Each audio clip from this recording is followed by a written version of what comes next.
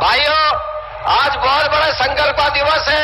माननीय राहुल गांधी जी आज इस मंच से आप सबको बात करके अपनी बातें आप तक पहुँचाने आ रहे हैं और आप सबसे एक वचन लेने के लिए आज वो यहाँ उत्तराखंड में आ रहे हैं कि देवभूमि की पाँच के पाँच सीटें आप जिताकर कांग्रेस की झोली में डालेंगे ताकि देश में कांग्रेस का परचम दोबारा से लहरा सके। हमारे फौजी जो हमारे फौज में हमारे साथी हैं, उनकी सुरक्षा हो सके।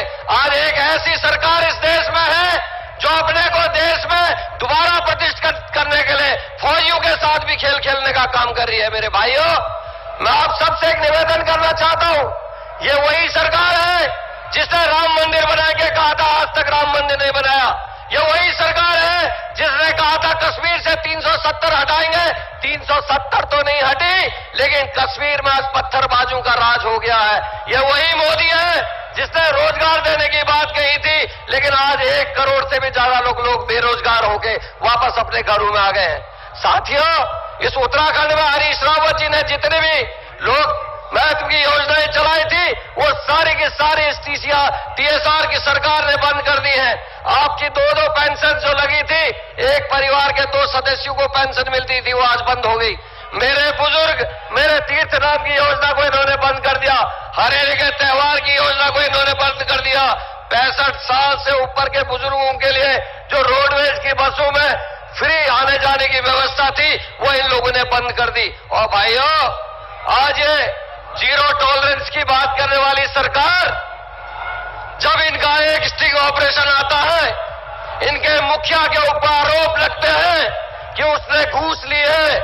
तब जब करण मेहरा ने और कांग्रेस दल के सभी साथियों ने 310 में इसको विधानसभा में उठाने का काम किया और मैंने अपने शीर्ष नेतृत्व की इजाज़त से ये वादा किया प्रेस से, मीडिया से, आप सबसे कि जन, किस प्रदेश के तेरह जनपदों के मुख्यालय में करण मेहरा उस सीडी को दोबारा दिखाने का काम करेगा जो साबित करेगा कि इस प्रदेश का मुखिया भारतीय जनता पार्टी का मुख्यमंत्री खुद घूस कार्ड में लिप्त है, उसके परिवार के लोग लिप्त हैं तो करण मेहरा के घर में आग लगा दी जाती है।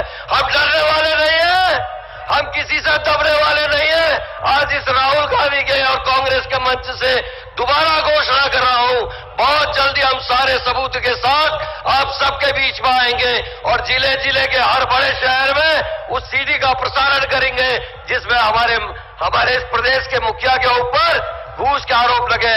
हमने चैलेंज किया इस कांग्रेस के मंच से, या तो वो जाँच कटाए और जाँच में अगर निर्दोष पाए जाएँगे तो जिसने भी इस स्टिंग को किया, हम उसके खिलाफ मुकदमा दर्ज करने का काम कांग्रेस करेगी। और अगर मुख्यमंत्री में दम है तो वो इसकी जाँच बैठाने का काम करे। निर्दोष होगा तो हम माफ़ करेंगे और कांग्रेस का काम है उसके ऊपर प्रश्न चिन्ह लगाना। और इस मंच से आज एक बात और घोषित करना चाहता हूँ। ये तो केवल 25 करोड़ की 25 लाख की घूस है। हम इस प्रदेश में इस मुखिया के 100 करोड़ से ऊपर के घोटालों को आपके सामने लाने का काम, इस चुनाव की बेला में करने का काम करेंगे।